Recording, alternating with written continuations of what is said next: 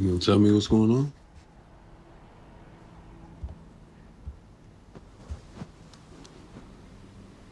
I don't appreciate you having to leave on Valentine's Day.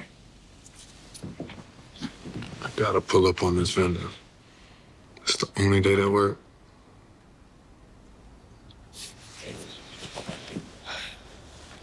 Emmy did something really nice for Keisha.